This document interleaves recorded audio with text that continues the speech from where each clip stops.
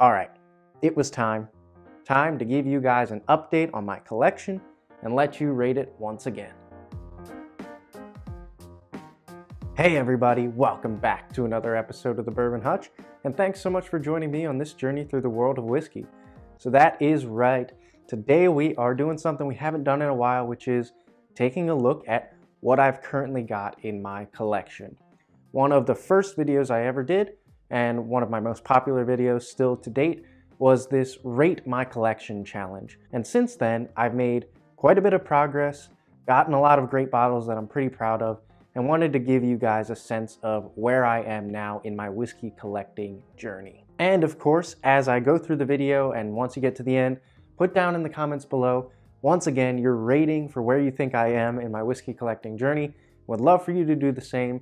Put down where you think you are in your collecting journey and where you'd like to go next. Before we dive in fully, do just want to ask that if you're liking the content coming out of the channel, hit that like button, hit that subscribe button too. Got the goal now to get to a thousand subscribers by the end of 2022. We are over 400 now, which is amazing, and I'm so excited about. But want to keep up that trend and get to a thousand so I can do a fun giveaway when we reach that point. First, let's just take a look at some of the bottle kills I've had, the ones I've finished off. There's a lot of staples there that I don't want you guys necessarily getting on me for not having tried because I actually have, and I finished them because I enjoyed them. So let's get into the first bottle here, which was Maker's Mark. This is actually the first bottle of whiskey I ever owned, gift from my uncle, and sort of launched my entire journey. So will always hold a special place in my heart. Next, we've got a bottle of 1792 small batch, one of the best budget sippers under 30 bucks if you ask me. Got Larceny small batch. So this is um, one of the ones that I went out and bought for myself. Learned what a wheater could taste like, had some chocolate and peanut. Whole new level of um, complexity for me and I was really excited about it. Then we've got two things from Old Forester. We've got the Old Forester 100 Signature and the Old Forester Rye, which is also 100 proof. Both of those are just really, really flavorful um, exceptional budget whiskeys in that like 20 to $25 range. Next, I had a bottle of uh, Old Grandad 114. Took things up a notch for me in proof, really spicy and bold. Really, really good budget sipper for around 30 bucks. Next, we had a bottle of uh, Four Roses Single Barrel. Absolutely love this bottle, need to replace it soon. This is one I've given as a gift to multiple people. I think the bottle's beautiful and it's just really good quintessential bourbon. Next, we've got two things from Wild Turkey. So we've got the Wild Turkey 81 proof and the Russell's Reserve uh, 10 year. So both of these um, from Wild Turkey. The Wild Turkey 81 is kind of like the 101's younger brother, more delicate but similar flavors. And the Russell's Reserve 10 was sort of my first experience with aged whiskey, good oaky presence and peppery presence to it that uh, sort of expanded my palate. Next, we have Early Times Bottled in Bond. This is one of my favorite budget sippers of all time. You get a liter for around 23 to 25 bucks. Such good rich oak, cherry, vanilla on here, so good. Then I had a bottle of uh, Evan Williams Black Label. Pretty much a standard, very cheap budget sipper. I use this a lot in cocktails just as a cheap mixer, but serves that purpose well. And then I had actually one bottle of Irish whiskey, a Jameson, just their typical triple distilled Irish whiskey. Not my favorite overall, which is one of the reasons I haven't explored much of Irish whiskey, but if there's something you think I should be looking at, please let me know in the comments below. And then last but not least, I've got two bottles that I actually picked up today and wanted to share with you guys because I'll probably be doing reviews of them soon. One is the Wild Turkey 101. I've had a bottle of this before, but never got to review it. And man, is this stuff so, so good. So definitely deserves a review. And then next is the winner of my What Should I Buy Next Michter's Edition video, and that was the Michter's Sour Mash. So I'll be doing this, cracking it open and doing a review quite soon, so keep an eye out for that. All right, that finishes off everything that's on the table here. I am gonna now do uh, something I don't do very often, which is go handheld and give you a look inside the hutch itself. Just to pause there on the hutch itself, that's where the channel got its name. It's because my grandparents actually passed this piece of furniture down to me. It's from like the 1950s, handmade, and it's beautiful and it houses my bourbon beautifully, and I'm extremely thankful for that. All right, everybody, we've officially gone handheld. Just wanted to give you a glimpse inside the left half of the hutch, which I've got most of the glassware in, and my infinity bottle in there. All right, let's get into the actual hutch itself and the full collection. So up here on the top row, first I've got a Sagamore Spirit Rye Double Oak.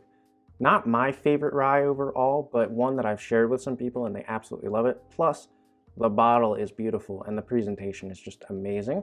Then I've got a uh, Knob Creek 12 here that is a 100 proof standard version.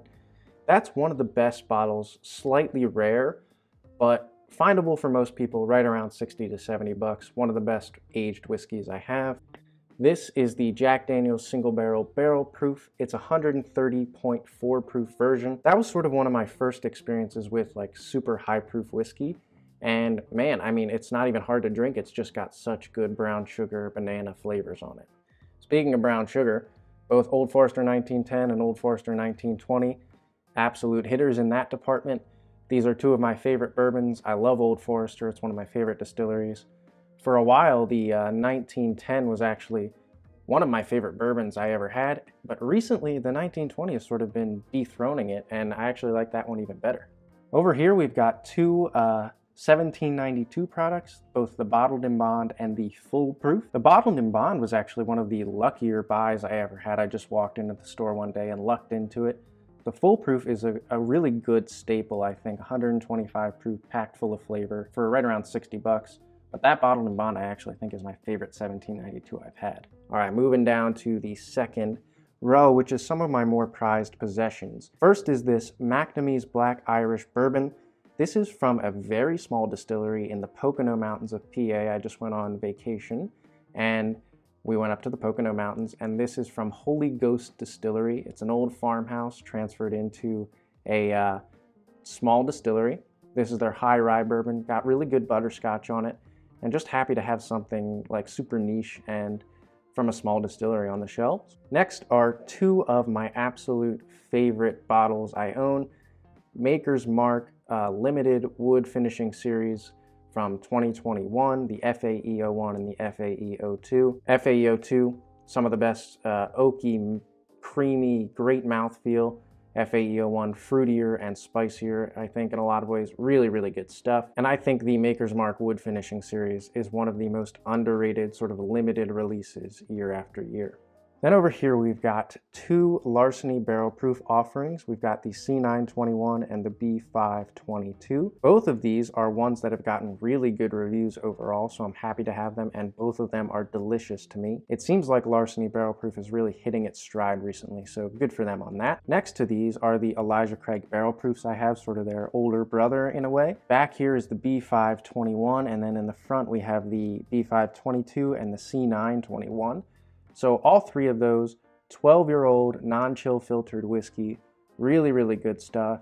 If I had to pick favorite right now, I think B522 might be might be my favorite I've had, and that's the most recent release. All right, let's move down to the bottom shelf, which is admittedly the most crowded by far, as you can tell.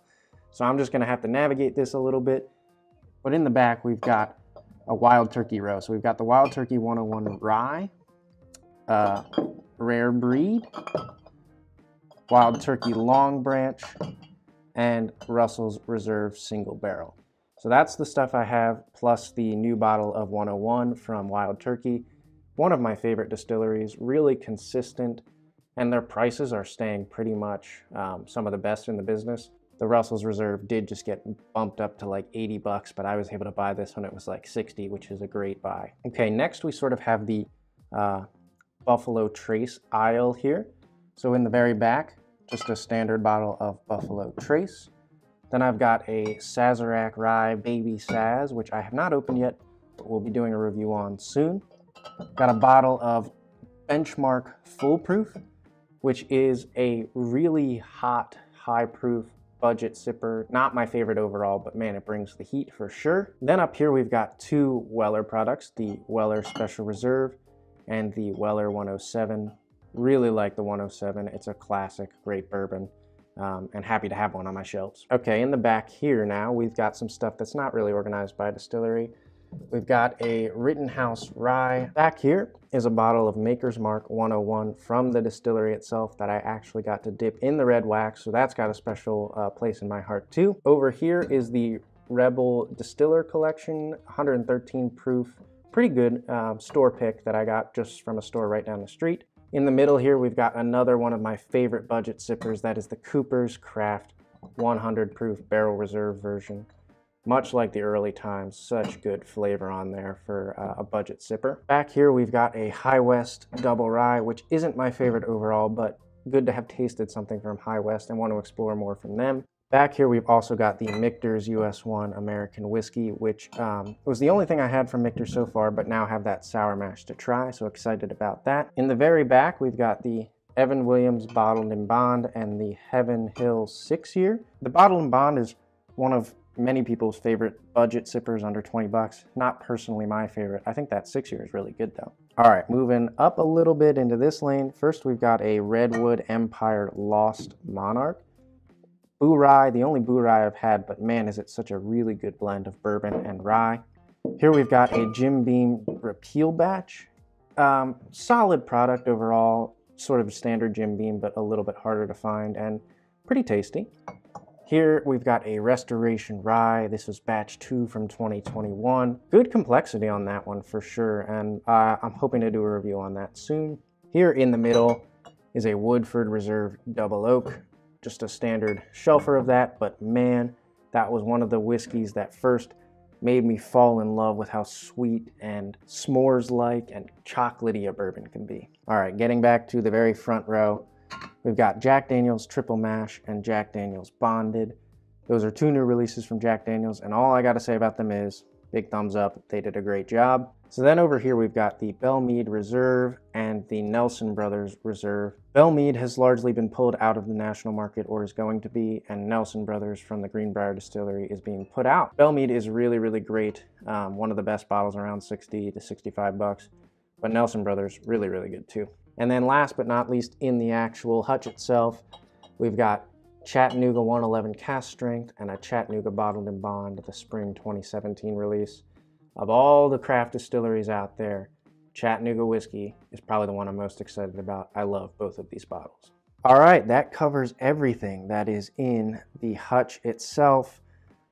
I think it's a pretty good collection of displayed whiskeys here. I do have one more spot I'm going to show you, so let's get to that now. All right, we've made it over to where my barrel is displayed here and which just has a mix of things uh, displayed, sort of a variety for people to try when they come over. So first we've got a bottle of Wilderness Trail Small Batch. This is the bourbon they have with rye in it, not a wheated. Really, really good. As that's opened up, it's gotten so vanilla and cherry, it's kind of ridiculous. Next, got a bottle of Pikesville uh, Straight Rye Whiskey, 110 proof. That's barely a rye, 51% rye, so it's got great bourbon characteristics to it for me and just really, really good. Next, we've got a uh, bottle of Standard Angel's Envy, wine finished, good sweetness on it for sure, and good for bringing anybody over from the wine uh, world who really enjoys wine. Here in the back, we've got a New Riff single barrel pick from a store down the street. Same place that picked that Rebel uh, Distillers Collection. Love this bottle. It's a really good pick and it's got such a strong blackberry note on it, which is great. Back here in this corner, we've got an Evan Williams single barrel from last year. This is now a product that's probably, it's gonna be uh, Kentucky only, which is very sad, but when it used to be 30 bucks and widely available, is one of the best uh, deals. Now it's around 40 bucks. I've seen it and still worth it. Um, sad that a lot of people aren't gonna be able to get it though. Here in the middle, we've got a David Nicholson 1843. It's a wheated bourbon. Not my favorite, but a solid sipper for sure. And then over here, we've got two things that actually aren't uh, bourbon. We've got a the Real McCoy single blended rum, aged five years, and it's aged in ex-bourbon barrels. So it does have a bourbon layer of flavor to it, which is great. And then over here, we've got the Monkey Shoulder blended scotch. A little bit too sweet for me. It's sort of like a, got a honeysuckle sweetness on it. That isn't my favorite, but a good one to be able to share with people and gotta have something to represent the scotch industry, right? All right, everybody, that's gonna wrap up this look inside my collection today. Like I said in the beginning, rate my collection down in the comments below. You can give me a letter grade from A to F, You can give me a number grade. You can just give me a thumbs up. Let me know uh, what, how you think I'm doing. I think for me, I'd probably put myself at like high level intermediate, looking to get to advanced level status. But most importantly, I'm having a heck of a lot of fun collecting whiskey and bourbon and expanding my palate, and I hope you guys are too. I hope that whatever bottle you're looking for next, it's a great one and that you find it. And until I see you guys again for another video, all I can say is keep drinking and keep collecting good whiskey. Cheers, everybody.